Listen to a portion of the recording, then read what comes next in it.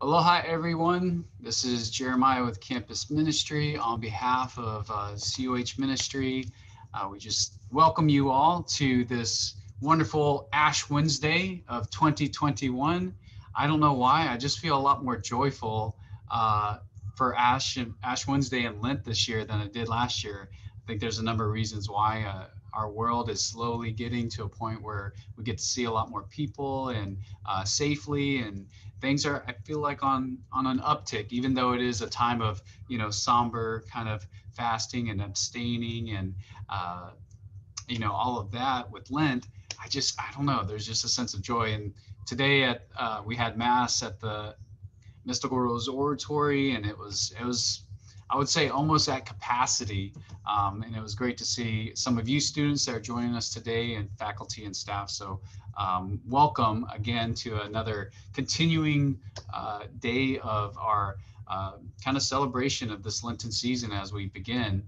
Um, today we have a very special presenter that's with us and uh, I'll introduce him in just a moment, but I'd like to start us off by uh, offering a prayer, asking God's blessing for our time together and uh, and we'll just go from there. So again, thank you all for joining us.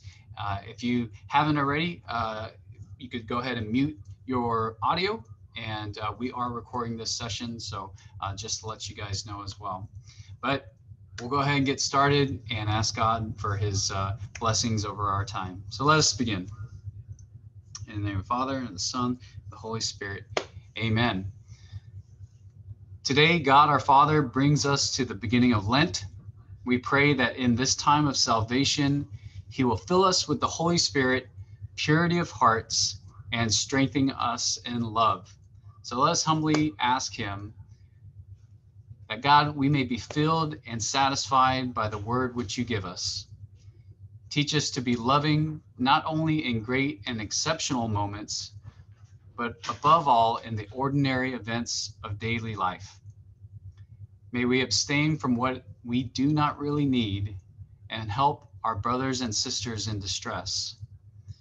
May we bear the wounds of your Son in our bodies, for through his body he gave us life. We ask all these things through Christ our Lord. Amen. Father, Son, Holy Spirit. Amen. All right. Well, uh, many of you guys know our, our presenter. You've got to speak to him before. He is um, uh, a wonderful man who is not just about uh, you know his own vocation and, and letting that be uh, something that he keeps to himself, but he is out with God's people and uh, whether that be in church or out on a hike somewhere on a mountain in Hawaii, uh, wherever it may be, uh, he is with God's people. And so um, just by way of introduction, with Hawaiian family roots in Hawaii that extends back to the monarchy of King Kalakaua, Bishop Larry Silva has always had an affection for the people of God here in the islands.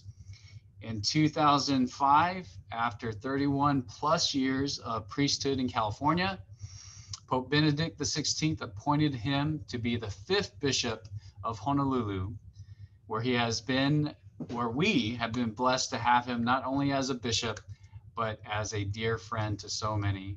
And so, without further ado, I welcome and say a warm aloha to Bishop Larry Silva. Thank you, Jeremiah. It's uh, good to be with all of you here this afternoon. Uh, aloha from Kauai. I'm here on Kauai primarily for uh, uh the ordination of a couple of deacons on Friday, among other things. So uh, it's, uh, it's a pleasure to be with you. Um, this is, of course, as Jeremiah mentioned, and as some of the, the foreheads are indicating, Ash Wednesday, the beginning of Lent. And uh, so it, it doesn't seem like a time when we should be talking about sharing joy, uh, because we usually think of uh, Ash Wednesday and Lent as as uh, more of a time of a, a, penance and repentance and so on. But I, I think it really is meant to be a time of joy as well. And I'd like to share uh, a little bit about a different perspective on joy than perhaps we normally think about. Uh, let me begin with uh, this reading from the Gospel of John, chapter 15, starting at verse 11. Now, this is uh, the Last Supper from the Last Supper discourse. So remember, Jesus knows that he is going to be betrayed by one of his 12 closest disciples. He knows he's going to be crucified. He knows uh, what is going to happen to him. And so he's at the table with his disciples and he says, I have told you this so that my joy may be in you and your joy may be complete. This is my commandment love one another as I love you. No one has greater love than this to lay down one's life for one's friends. You are my friends if you do what I command you. I no longer call you slaves because a slave does not know what his master is doing. I have called you friends because I have told you everything I've heard from my Father. It was not you who chose me, but I who chose you and appointed you to go and bear fruit that will remain, so that whatever you ask the Father in my name, he may give you. This I command you love one another. So here is Jesus at uh, one of the most difficult moments of his life, and he is talking about joy. And he's talking about sharing that joy with others. Uh, when we think of uh, joy, we perhaps think uh, more of a like a Coca-Cola commercial, where everybody's uh, singing and dancing and partying and having a wonderful time. Uh, we don't always think of joy in other contexts. I had a, a very beautiful experience on Christmas afternoon, this uh, past Christmas.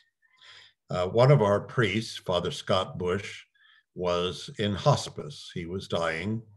And I went to see him to take him viaticum, the communion for the dying. And uh, after I gave him communion, uh, he basically gave a, like a five minute speech uh, that was amazing. Now, he was suffering he was in bed. He was, uh, uh, you know, his kidneys were failing. Uh, he knew he was dying, but he actually wanted to die that day because he knew that there would be joy in heaven. And so basically, he talked about how blessed he had been to be a priest. Uh, with all the, the wonders that God had uh, entrusted to him of calling him to be a priest, uh, all of the people that he met. He talked about all of the lives that he was able to touch, and that uh, in his life, he really only wanted to serve people, and that uh, he was looking forward to uh, going to heaven and continuing to serve there. Uh, he wasn't going to stop. It wasn't just about him and his enjoying eternal life. It was uh, that he wanted to uh, to serve it from heaven to pray for all of us down here below that need prayers. So this was a, a man who was suffering a great deal, who was, you know, days away from death, and yet um, he was joyful. There was a real joy that was palpable. You could hardly hear the words coming out of his mouth because he didn't have a lot of energy. Uh, and yet, uh, you know, there was no there was no singing, there was no dancing, there was no uh, um, carrying on. It was just very stark, but it was joyful. And I think that's the kind of real joy that the Lord wants us to have. Yes, there are those moments where we sing and dance and and party and and there's that that joy that is uh, you know we're thankful for But there are other kinds of joy, I think, that um, that are not so uh, obviously uh, wonderful, but that can uh, really change us. On uh, February 6th, we celebrated the feast of uh, the uh, Paul Miki and the martyrs who died as missionaries in Nagasaki, Japan. And uh, this was uh, between 1564 and 1566. Now, Paul uh, was a Jesuit priest, and uh, he was uh, being crucified. Uh, because I guess the the the emperor thought, well, you're pe- preaching Christ crucified, uh, and, you know, this is illegal because he's not our God uh, that we worship. And so uh, let's give you a taste of your own medicine. Uh, so they were being crucified. There were, um, you know, perhaps half a dozen to a dozen of them that were being crucified. So he's hanging on the cross, dying, and um, this is what he says. I am sure that none of you would suppose I want to deceive you. And so I tell you plainly, there is no way to be saved except the Christian way. My religion teaches me to pardon my enemies and all who have offended me. I do gladly pardon the emperor and all who have sought my death. I beg them to seek baptism and be Christians themselves. Then he looked at his comrades and began to encourage them in their final struggle. Joy glowed in all their faces, and in Louis's most of all. When a Christian in the crowd cried out to him that he would soon be in heaven, his hands, his whole body strained upward with such joy that every eye was fixed on him. Now, here is someone being crucified. Uh, and there's this intense joy uh, that is filling his heart. That isn't something that we normally think about. Uh, that uh, you know that this is a moment of joy. You know, this is a payment, a moment of pain, of suffering, of rejection. But no, for for him and for all of them, it was a moment of joy because uh, they were laying down their lives for the Lord and for the uh, the people uh, that to whom they had preached the gospel. And in fact, you know, although uh, even today uh, Christianity has not taken root very much at all in uh, Japan, Nagasaki is probably the most Catholic city in the country. And that was due to the, the joy of these missionaries who uh, were put to death, and people remembered that. People did not forget that. Um, on uh, later later in March, we will be celebrating the feast of uh, Saints Perpetua and Felicity, and uh, the the uh, we have a reading uh, that describes their martyrdom. Now, their martyrdom was being thrown to the wild beasts, so the leopards or lions or whatever they had in, in those days. Um, and so uh, it says of Perpetua, the others stood motionless and received the death blow in silence, especially Satyrus, who had gone up first and was first to die. He was helping Perpetua. But Perpetua, that she might experience the pain more deeply, rejoiced over her broken body and guided the shaking hand of the inexperienced gladiator to her throat. Such a woman, one before whom the unclean spirit trembled, could not perhaps have been killed had she not herself willed it. Bravest and happiest of martyrs. So here again, we have these uh, people who are suffering tremendously. You know, they're in the arena, they're being torn apart by uh, wild animals, and uh, they're joyful. Uh, so, how could that be? How how is that possible? Except that they were joyful because they knew Jesus, and He can give us a joy that no one can take away from us. He can give us a joy that uh, not always singy dancy, but is a joy that is very real, even when we're going through sufferings, even when we're going through trials. And so, as we go through Lent, of course, we don't, as I said, we don't normally think of Lent as a season of great joy, uh, yet it is meant to be a season of joy because we are called to renew ourselves in Christ and to renew that relationship of love with Jesus Christ so that we'll be better prepared to celebrate the greatest event in the history of the world, which is the death and resurrection of Jesus. No event in the history of the world has ever had such effect as that event. Um, and so that's what we're preparing to celebrate during Lent. So we uh, devote ourselves to fasting. Uh, why? It's a deprivation. It's, you know, not enjoying things that are good for us, basically.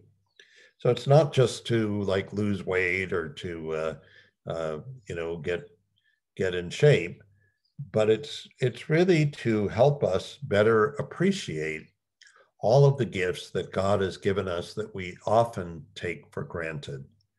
It is meant to to uh, this fasting is meant to give us great joy because it helps us realize how much uh, we are blessed, how many things we have, the food on our tables every day, uh, the, the blessings that we're given. We're called during Lent to uh, prayer, to deeper prayer. And uh, yes, we can uh, very often uh, go through prayer exercises. We can do a rosary, we can go to Mass, we can do all these things. That's wonderful. But our prayer needs to be communication, real communication with someone who loves us more than we could possibly imagine. And so getting into the Word of God, uh, listening to the voice of, of God in that Word, listening to the voice of Jesus is meant to touch our hearts and change our hearts and fill them with joy. Uh, does it take some dedication? Yes. Does it take some discipline? Yes. But uh, the uh, the joy that we will feel if we dedicate ourselves to more, prayer and deeper prayer, I think will be uh, certainly well worth the effort. And then the third thing that we are called to do during Lent is almsgiving. That is to share our resources with those who are more in need than we are, with the poor. Now, um, I know college students struggle quite a bit financially. You're not uh, rich, you're probably uh, you know trying to save a penny here or save a dollar there. Um, but nevertheless, no matter what we have, uh, if we're willing to share it with others, the Lord will multiply it. He will. Uh, he will uh, never let us be with. Uh, never let us be destitute if we share what we have. And so that almsgiving is meant not only to care for those who have none, uh, whether that be no food, no clothing, no house, housing, um, but really it's meant to help us um, be more generous as God is generous toward us. And so these things can be a drudgery or they can be a joy. And I think they really are meant to be a joy. Uh, they they might there might be some drudgery to them. There might be some uh, discipline that uh, we have to commit ourselves to so that we can be better disciples of the Lord. Uh, but if we do that, if we take the time, if we take the uh, effort to do that, uh, we will be richly rewarded. You know very well that with friendships, the more you invest yourself in a friendship, the more you can get out of that friendship, the more uh, joy it will bring you. And so, uh, uh, so it is the same with uh, the Lord.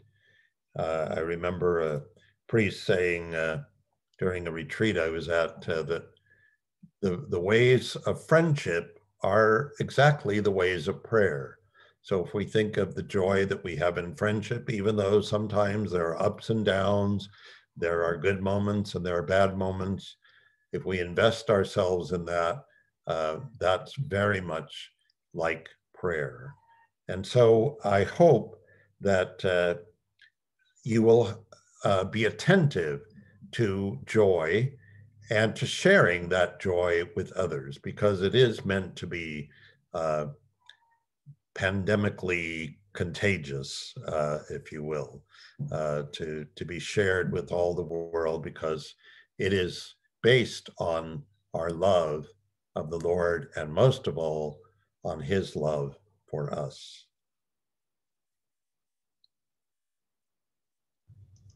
So I will open it up to questions, Jeremiah.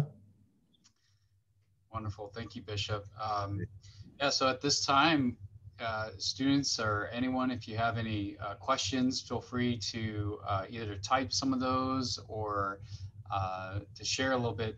But uh, I know there's a couple of questions that uh, some others had asked beforehand. Bishop, what are what are some types of penance that you know people would experience or get maybe from going to confession?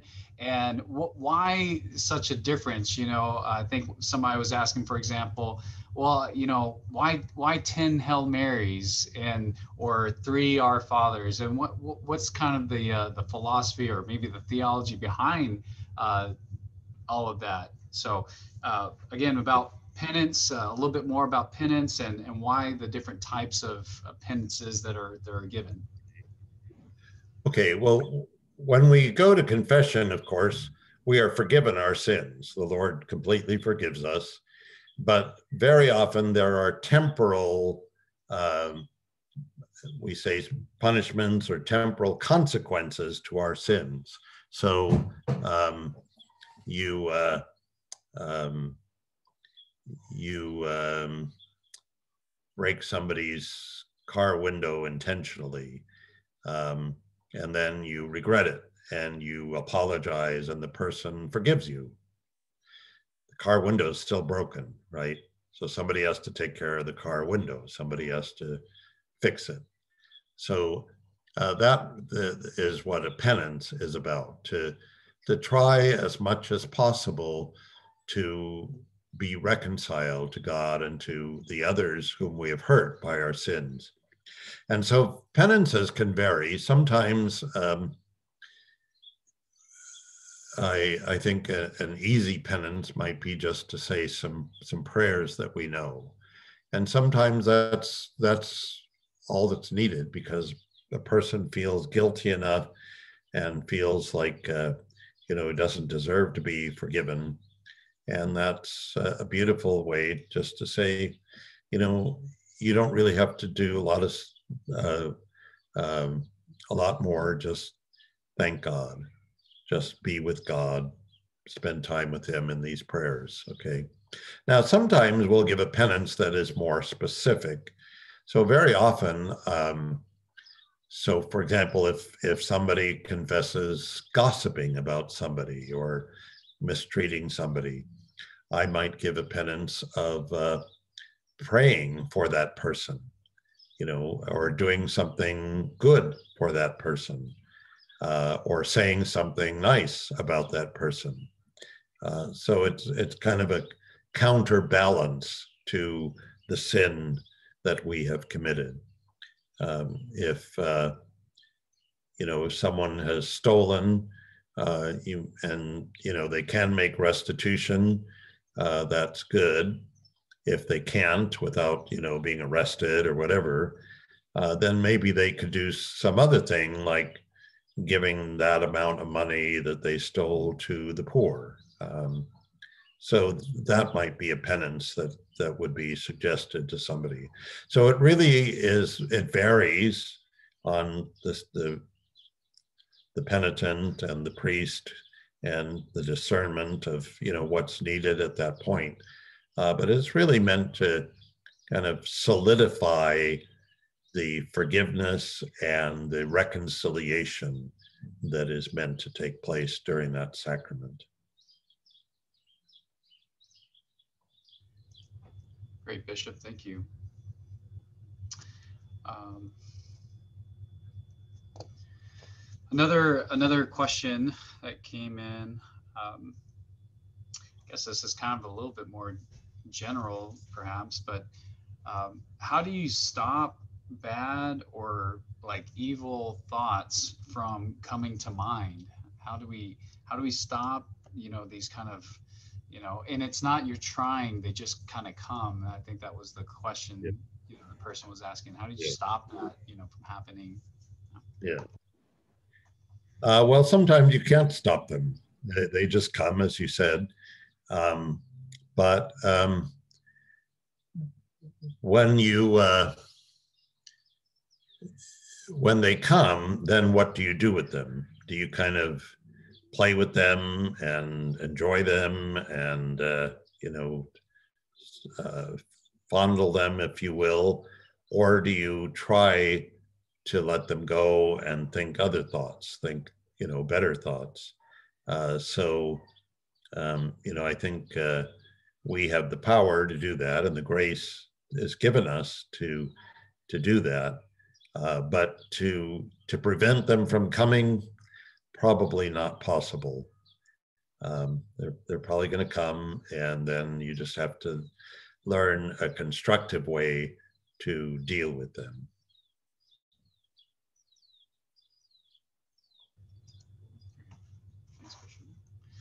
Uh, any others other other questions?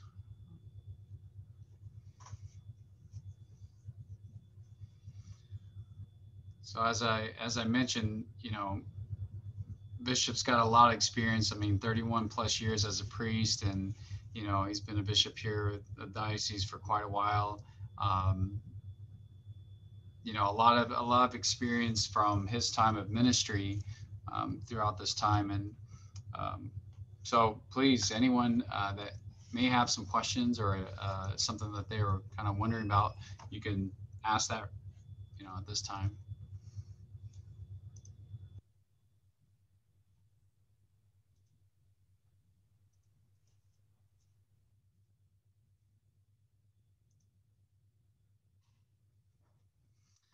Okay, uh, we got one that just came in. Uh, this Lenten season, many of us may give something up to show our solitude for the season. Uh, what if we are to fail at what we gave up? What is a good way to overcome that obstacle?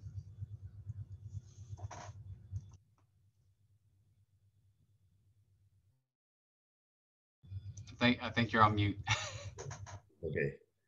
Um, yeah, I I think uh, first of all to be aware that you have uh, slipped slipped, um, and then to just resolve to get back on track um, and to not beat yourself up about it.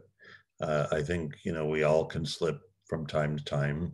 Uh, if it's uh, slipping into a sin, then you know maybe it, it'd be best to go to confession to uh, to be reconciled in that way. But if it's you know a, a particular penitential practice that you've decided to do, uh, and uh, you slip up on it, then just uh, be aware of it, shake yourself up, get get back up, and start over. Um, you know, it's uh, it's no shame to uh, to fail, but don't let the failure uh, drag you down into more failure. You know?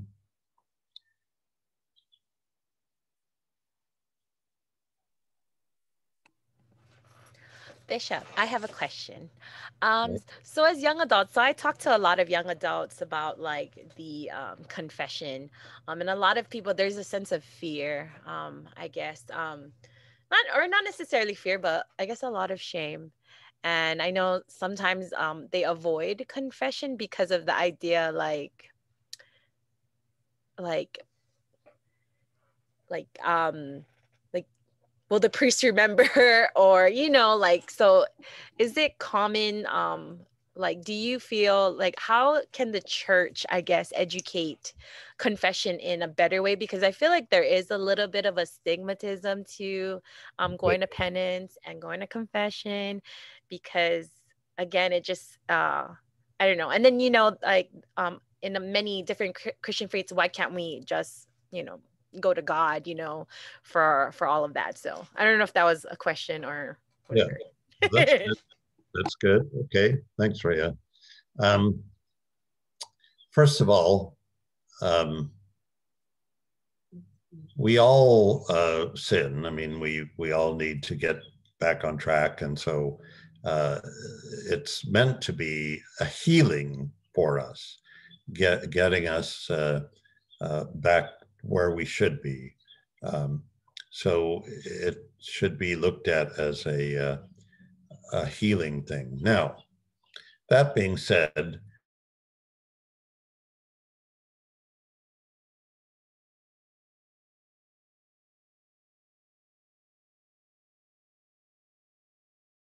I will tell you that we probably have a fear about it too and a shame about it too, because uh, um, you know, nobody likes to admit that they have failed, uh, that they have done something wrong.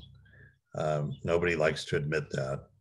But if uh, if we do admit it, then we uh, then we can start to overcome it, and we can let the Lord work on us to overcome it. Now, with regard to the, uh, of course, you understand that when you go to confession to a priest, uh, he is obliged never to divulge anything that you have said in confession. Okay, so um, you know, and he he can be excommunicated if he does that. Um, it's it's that serious. So you can be assured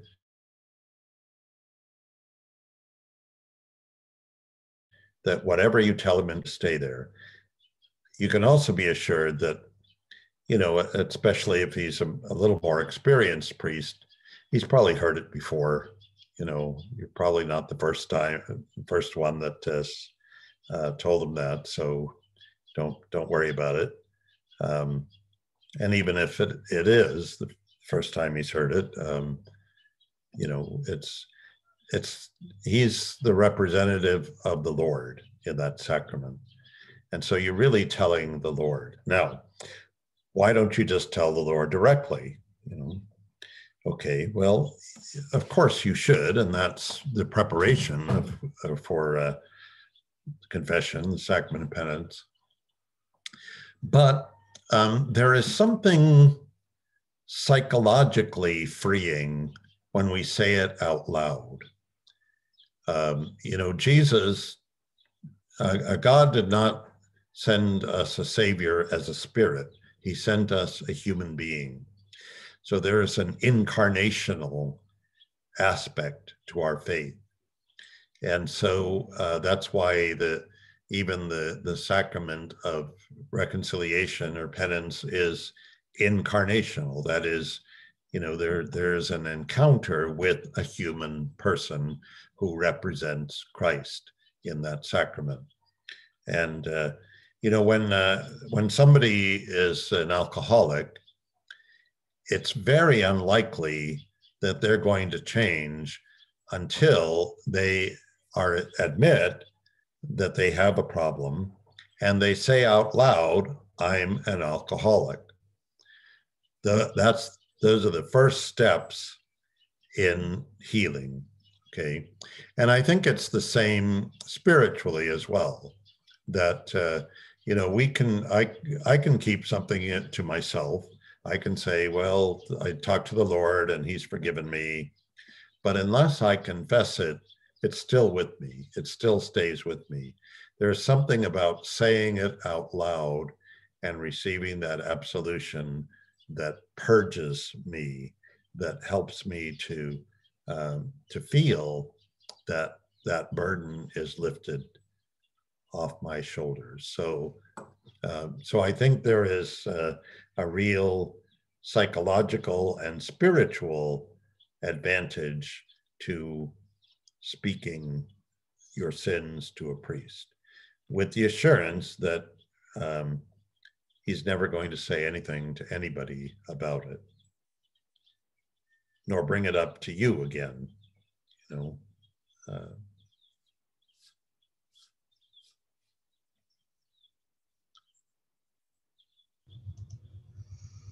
Wonderful. Thank you. Okay, thank you.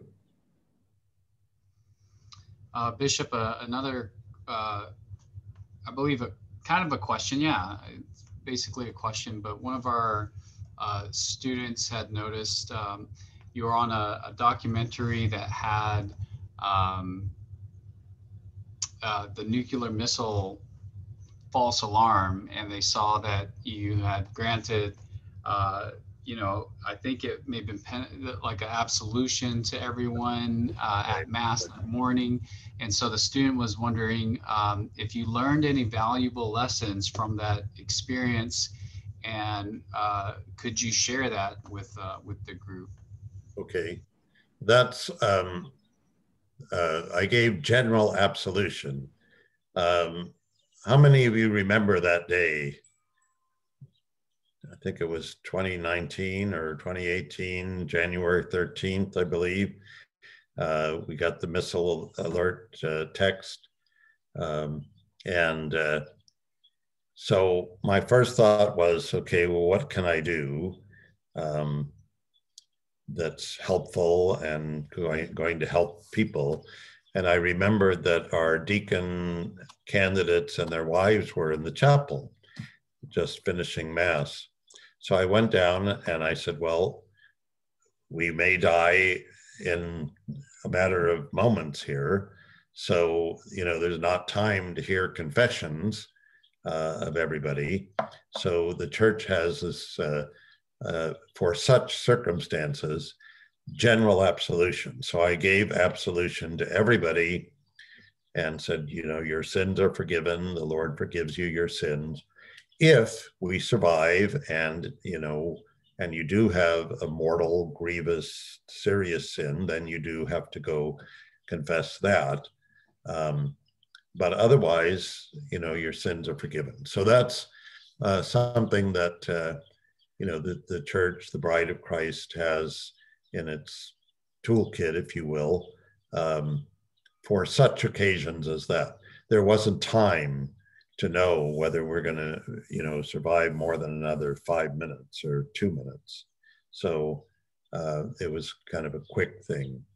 Now, uh, there are some people who think we ought to do that more often, but I think it kind of gets us off the hook a little too easily, and uh, we don't we don't engage in that saying our sin out loud. We don't engage in that, you know, um, that verbalization of it, and there's something that is healing about that very act itself and so I think um, it is something that if if you know there were a tsunami heading our way and we're going to hit in uh, you know uh, 20 minutes or something, then I might consider doing that. But otherwise, I think the the regular way. Pardon me. Pardon me. I'm gonna double that. I think uh, somebody's somebody's mic was just uh, unmuted. Go ahead, Bishop. Sorry about that. Okay. Yeah. So, So that's what I did, though. I gave them uh, general absolution that morning. Yeah, that was it? uh, quite, quite the Thought- experience. Thoughts about Lent or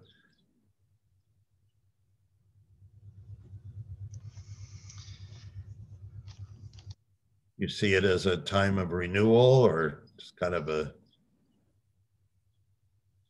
a pain?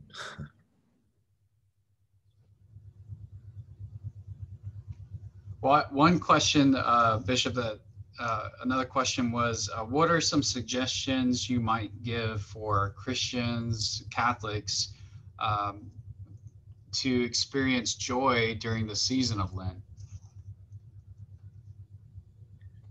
Okay. Uh, I think, uh, first of all, to get to know Jesus better, uh, to spend time with the Word, to spend time with the sacraments, uh, because this is someone who loves us more than we can possibly imagine. And uh, how can we not be joyful being in the presence of someone who loves us so much? So I, I would say that would be the, the first thing, prayer. Um, then, you know, reaching out to others. Uh, maybe there are people who are lonely, maybe people who are not accepted, who are uh, kind of on the margins of uh, our social groups. And uh, reaching out to them might be uh, a penance in a, in a way, you know, because it takes takes a bit of commitment. It takes us out of ourselves, of our comfort zones, and yet uh, we might find that uh, we have some new friends and uh, can can really touch lives that otherwise would stay lonely and isolated. Um, I think uh, to think of people in your life who are in need uh, whether that's you know an elderly person that needs uh, errands done or cleaning done around the house, or uh, uh whether it's a, you know somebody younger who needs tutoring or maybe help with sports skills because they're not doing too well and they kind of feel bad about themselves. I mean, there's there's all kinds of people around us who are suffering from uh, in one way or another. And I think whatever we can do to notice them and to reach out to them concretely is going to uh, bring us joy. Not only them, but it'll bring us joy uh, because there is joy in serving others.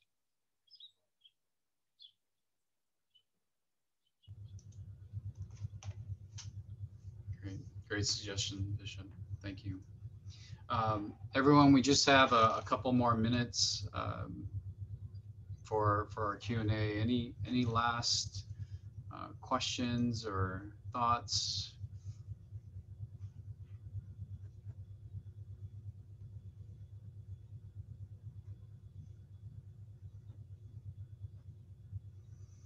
I know there's got to be something. Somebody's wondering about something like that, you know the Bishop of Honolulu has to know. Yeah. So I, I don't have a, question, uh, Bishop, uh, but I just wanted to share this. I mean, because I know there's a lot of students here, and I'm one of the faculty at the School of Nursing, and I do go to the cathedral. But since the pandemic, um, uh, you know, initially watching the the church uh, through um, the, the live stream and, and things like that, I try my best to go on Saturdays if, if I can, because there's no reservation and everything. But I think that, you know, I know that during the Lenten season, you know, our the goal is to to get to know Jesus a lot more. But just personally, I just want to share that, you know, since the pandemic hit, I have actually learned that now no matter what, I have to spend that five to 10 minutes in the morning before I start my day. And I make time because I love my sleep. Uh, but I make time to spend just, you know, I have a, uh, it's not a, the Bible, but a reading um, that I do every morning, and it always speaks to me, and that has been really very helpful for me. And uh, I have a young uh, boy um, who I always would share with him what the reading is all about to see if it relates to him. I mean, he's doing distance education, but I think for the young people that are here, you know, you don't have to spend a lot of time. Um, I mean, if you can, that's that's wonderful. But if you make it a routine, it almost like it becomes a fabric of who you are, and then that's where you find that uh, that joy in, in what you do, right? Uh, and and then you know if you have, have those extra moments like at night if i'm not too tired then i have another uh, reading book that i used. Uh, if i can you know if i'm not too tired at, at the end of the day. So i just want to share that with all of you. Again it's it's just I, I know my students would always hear me say well maybe let's go pray to god you know i always either start a, class either with a short prayer uh, and that's the wonderful thing about you know teaching at Chaminade, right uh, or just a little reflection, you know, because I know our students and faculty are having difficulty, especially uh, in the sense of isolation. So I would always tell students, even if it's just through chat, when they're in synchronous classroom with me and being able to reach out to a friend because they notice something like in a Zoom like this and something just doesn't make any sense. I think that's the joy, the joy of giving a little bit of your time, a, a little bit of what you can give i think is is what i was gonna kind of say. Yeah. That's great. That's great. Thank you. And, um, you know I, I think one of the if i may follow up on one of your points uh, you said you start off with just a couple minutes of prayer or you know just a, short time uh, sometimes we may make a resolution oh, i want to pray more and so I'm going to pray for half an hour. Okay. Well, then you, but you're not used to that. And so you, it lasts maybe a couple of days and then you fall off and it's 15 minutes and then it's 10 minutes and then it's nothing. So gradually build up a habit of prayer. You know, start with two minutes, five minutes, and then and then gradually increase it. Um, because it, it will bring you joy and it will kind of help you stabilize your life in, in many ways. Um, but uh, don't uh, don't bite off more than you can chew. Um, let and don't don't be impatient with yourself.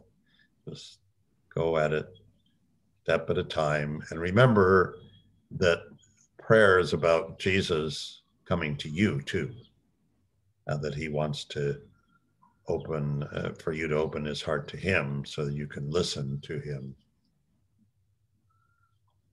Thanks. Amen. Amen. Thank you, Dr. Edna, for that. Practical, these are just practical examples of, you know, our daily walk with uh, a very personal and loving God. Yeah. But we have to make the effort. Yes. Yeah. Wonderful. Okay, last call. Anything else?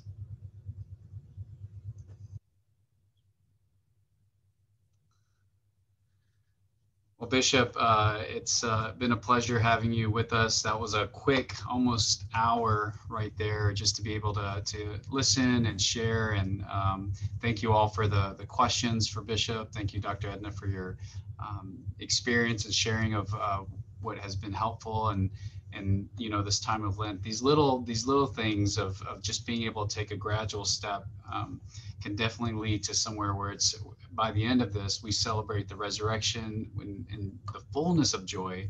I think, um, you know, as a family, as a community together, and it just makes it that much more special, you know, with each other. So thank you all for joining us today. Thank you very much again, uh, Bishop Larry, for um, being a, such a, a, dear friend to us all, a, a pastor, and um, you know, I I can't thank you enough for um, taking time out.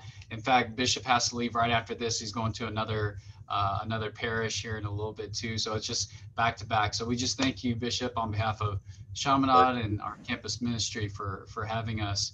Um, before we end, I'm going to ask two things. Uh, Rhea is going to do a a little uh, uh, announcement for some upcoming things uh, here at the university.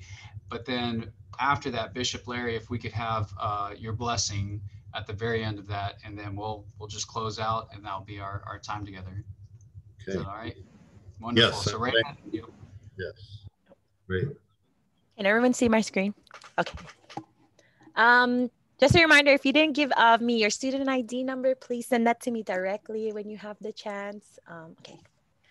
So these are our announcements. Um, tonight we have our Ash Wednesday Mass at the Mystical Rose. It's at 6:30, so there's still enough time. So if you haven't made it out, um, please go and check it out um, tonight. Um, our next Share the Joy is going to be February 24th, The Joy of Scientific Discovery with Dr. Claire Wright. Um, same time, same room number, you guys know. Um, for the Chaminade Scholars, uh, we have the virtual uh, retreat coming up. So we already have the form sent out. So please check your email and fill out that form to pick what day you can come. It's going to be February 26th to the 28th, and you just pick one of the days out of the three and it's a virtual retreat. Um, if you guys don't already know, our SLIF small groups have open signups and we're opening signups for the next two weeks. So if you are interested, scan the QR code and you can sign up. This is a great opportunity for you guys during the Lenten season to build community, um, to pray with one another. Um, and yeah, so if you guys are interested in building intentional friendships and community, please sign up for our LIF small groups. Um, we have quite a bit of groups that are forming, so sign up. Um, we have Lectio Divina every Monday during the lunch hour at 12:30 with the same Zoom room number. You can find that information on our Instagram. So please check that out if you need an opportunity to pray. This is great for again for the Lenten season. Um, fourth nights, um, 6:30 on Monday nights. Again, um, this is an opportunity to build community with your other um, fellow Chaminade uh, students. Um, and then these are all the Marianist Leader workshops coming up. So if you haven't already um, registered, please check it out. Um, these are great workshop workshops for you guys um, as students. Um, so definitely check that out. Um, intramural volleyball. I'm not sure if signups are still up yet or if they maxed out, but if you want, you can please check that out.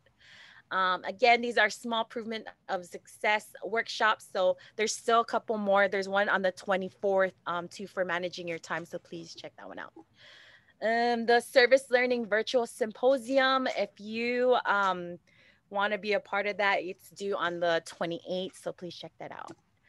Um, the NALICO registration, um, their registration ends on March 12th. So if you guys want to be a part of that, it's a student showcase, a showcase of student research and scholarship and creative work. So if you want to learn more, again, um, check out that QR code. Um, um, last chance to apply for a 5,000 graduate Marianist scholarship. Um, the deadline is March 26th. So if you um, need um, financial help, definitely check that out, students, and you can contact Samantha. Um, vocation for justice with, oh, that's the Marianist leadership. That's the next one coming up on March 31st at 12.30 p.m. So, and then finally, these are our Mystical Rose Oratory. If you're um, seeking to receive your sacraments, you can talk to Father Marty or email us or want to help in the liturgy, be an altar server. You can also let us know. And finally, follow um, OSAL on Instagram and all their social media, as well as us. And we have a new um, link tree so you can find the recordings for all our um, Share the Joys on YouTube and on our website. Um, we should upload them. So for those of you guys who know students that weren't able to come to Share the Joy but want to um, check it out, it'll be on there. Um, thank you. That's all. Thank you. That's a lot. That's wonderful, wonderful work you're doing there. That's good. And thank you all for having me uh, tonight. I've enjoyed being with you. Uh, hopefully soon we can meet again in person, but uh, nevertheless, we do what we can. So blessings. The Lord be with you. And with your May- spirit. Lord bless you and keep you. May he let his face shine upon you and be gracious to you. May he look upon you with kindness and give you his peace. And may Almighty God bless you, the Father and the Son and the Holy Spirit. Have a wonderful Lent and a beautiful Easter. Mahalo, Bishop. Thank Thanks, you. Bishop. Thank you. All right. Sure.